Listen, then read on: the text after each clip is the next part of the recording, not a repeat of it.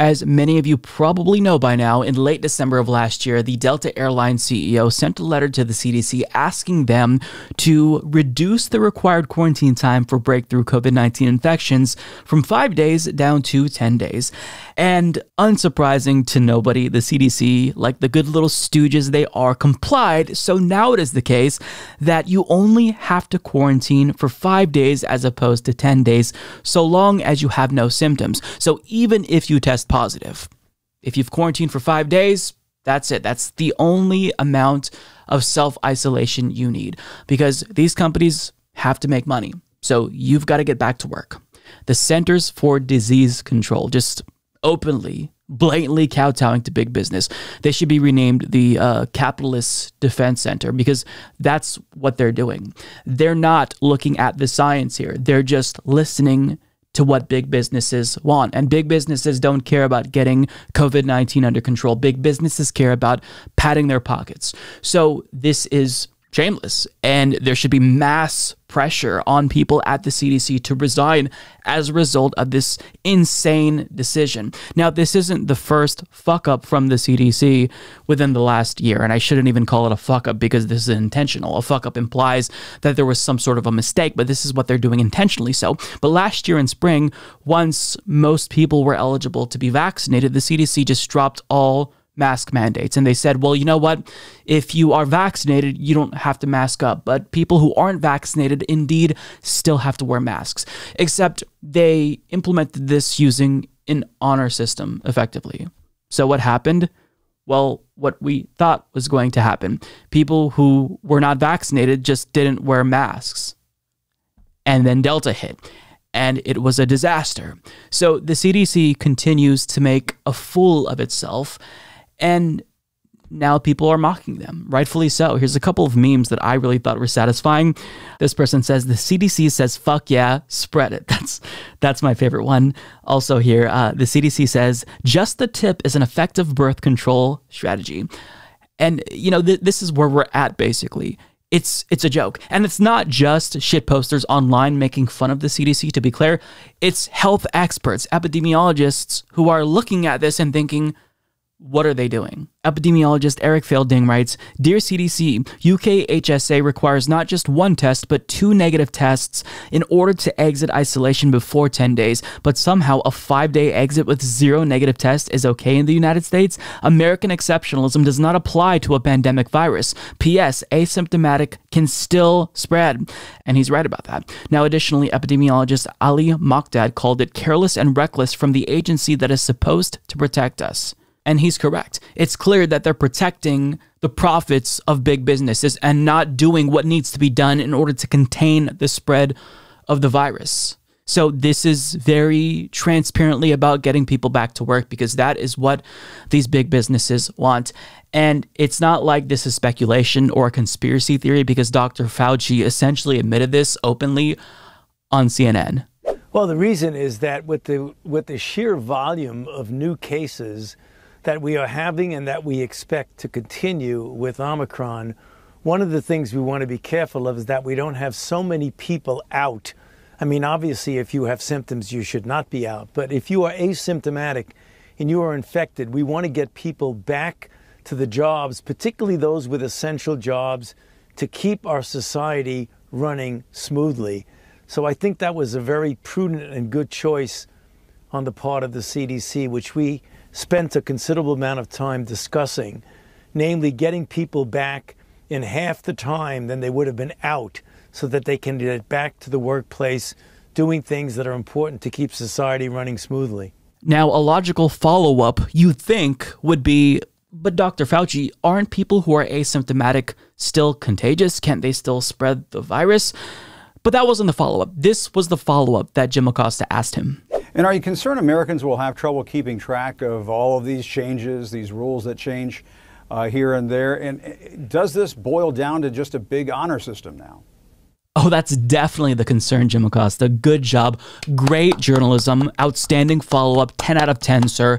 I'm definitely for one, more concerned with uh, whether or not Americans are going to be able to keep track of all of these new CDC guidelines. I'm more concerned with that than I am concerned with whether or not our public health institutions are just shamelessly listening to big businesses and making decisions not based on public health, but on whether or not these big businesses will be able to continue to make money. But to be fair to Anthony Fauci, he's not the CDC director. He should resign as well.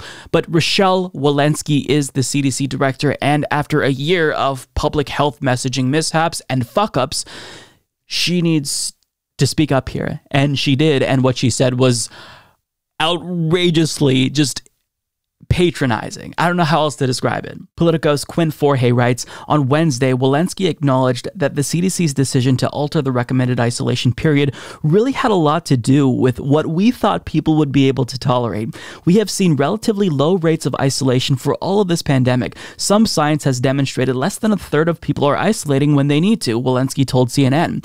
And so we really want to make sure that we had guidance in this moment where we were going to have a lot of disease that could be adhered adhered to, that people were willing to adhere to, and that spoke specifically to when people were maximally infectious, she continued. So, because people aren't following the CDC guidelines, they're changing the rules so that way people out of compliance are in compliance. So, basically, you know, the people who already aren't going to follow the rules, they're definitely going to follow the rules now because you changed it to appease them and not based on what should happen based on the disease. I mean, she needs to resign. There should be mass pressure on her to resign because the buck stops with her as the head of the CDC, and it's clear she's willing to sacrifice Americans to the gods of capitalism, all to appease big businesses. This isn't about mitigating the spread of COVID 19 anymore. This is about making sure that our economic system continues to chug along as it usually is. Fuck your life. This is about money. They don't care about you, they care about money. Shameless. Absolutely shameless. Again, this should not be the capitalist defense center. This should be the Center for Disease Control. And now they're basically just saying, fuck it, we're done. We're not going to try to even control it. But look, here's what happens when you do things like this. This is what this looks like in practice. And this really is a self defeating strategy because what they're trying to do in stopping worker shortages, which is an issue, is going to lead to more infections. It's going to make matters worse. I, I, can't believe that they didn't foresee this, but here's one individual who explains why this is an idiotic thing. There are no drivers for the B train, the D train, the W train, and I believe they said the M train. No drivers. Why? Omicron. We have 50 drivers out, and this morning, four more were taken out.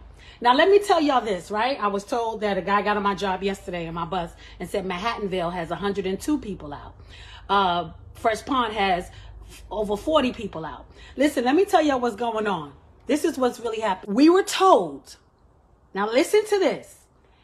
If you test positive but have no symptom, you still have to come to work. Let me say that one more time. If you test positive for COVID, you still have to come to work. If you have no symptoms, there was a guy at my job yesterday. He had he was tested positive, but he had no symptoms. He was told he had to come still come to work. Tell me what sense does that make, right? So a person like myself, when I come in in the mornings, I relieve the driver that's on, whether they were came in at three in the morning or, or rather they worked overnight. I go and I relieve them. That means I go behind them in the bus, right? So that means we're not told who's positive. So if I get behind you and I don't know you're positive, but because you were told you still have to work because you have no symptoms, what about if I get symptoms? And now we're only able to stay out five days. No more 14. Five days. And they're saying on the news five days because there's too many people staying out of work and there's not enough people to cover. So that's what the CDC's new guidelines look like in practice. You know, there is a worker shortage. I acknowledge that. But rather than making sure that more people don't get infected, which will lead to more worker shortages, uh, they're just saying, you know, no, no, no, go back to work and infect more people. Is that really is that really sound? I mean, not only is it self-defeating because it will end up creating more worker shortages, but you're getting people infected. So uh, I just, the strategy is mind numbingly stupid. And it's already a lax strategy, but still, companies, hospitals, businesses, they're still trying to get around these already lax guidelines. Here's a TikTok made by a healthcare worker that explains what her company told her after she tested positive for COVID 19 and experienced symptoms, by the way. So I'm a nurse and I got COVID. I have been working in the COVID ICU throughout this pandemic, and not once did I ever get COVID from work. I got it from my kids. Anyways, so I tested five days after I started having symptoms um, because I thought it was just a normal cold. And sure enough, it was positive. So I call the workability line, and the lady tells me that I need to quarantine for 10 days from the start of my symptoms. And that was 10 days ago, um, not from when I tested positive. So here we are, 10 days um, from when my symptoms started, five days from testing positive. The workability lady calls me today and she says, How are you feeling? How are you doing? So I tell her, I'm sneezing constantly. I have a cough still. I'm just so tired. I get short of breath. I just like don't really feel like myself. Um, just don't feel 100%.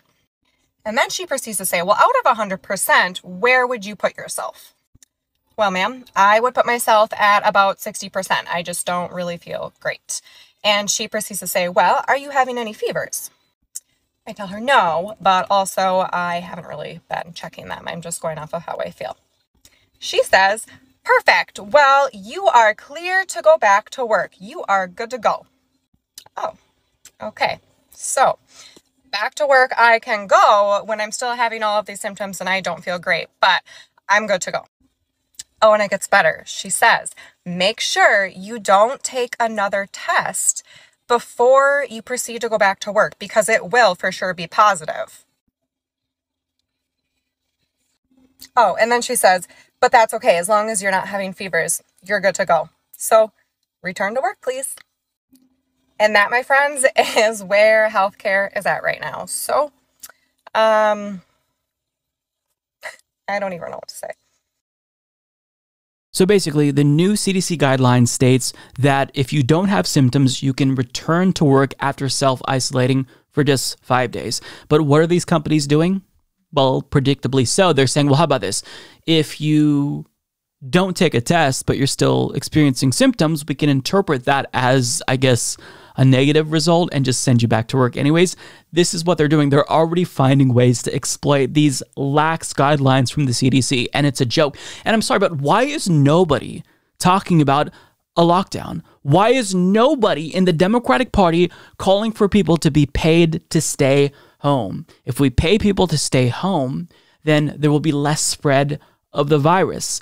But the Biden administration, they, they just, they've given up. They don't care about COVID 19 ravaging the country. They don't care about record breaking cases. If they did, they would try to encourage people to stay home by pushing for another round of survival checks, by extending the moratorium on evictions, which expired. And as of last month, evictions were on the rise as the pandemic currently is uh, at the worst that it's ever been. Like, I get that it's a little bit different now because of Omicron. So there's evidence that it's less severe than Delta. But still, I mean, we we clearly as a country we've given up and we've just decided to let um, the disease run its course uh, and and we're doing Trump's strategy from like Easter. Remember when uh, in 2021 or 2020 rather, liberals were freaking out when he was vi- visualizing people returning to church on Easter Sunday, and Democrats before they were in power were saying that's a horrible idea. Now they're just doing that strategy, and it's absolutely ridiculous. This isn't just about COVID. This shows that as a country, no matter how bad a situation gets, how severe a disease becomes, or whatever may be the case we're not going to do anything to jeopardize profits. We're not going to do anything that big business doesn't want us to do. We're certainly screwed when it comes to a much more complex issue like climate change. So, this is the state of America. This is what living in a late stage capitalist society looks like. Your life does not matter. You are meaningless. You're just a useless cog in the machine. And all that matters is that the machine is still fully functional. Your life is meaningless. Big business profits, that's all that matters. It's more important than your life. So remember this because this is what the politicians think about you. They're not saying it explicitly, but tacitly, their actions indicate that this is their beliefs. They don't care about you, they care about money. You are useless. Remember that. This is capitalism, folks. This is capitalism.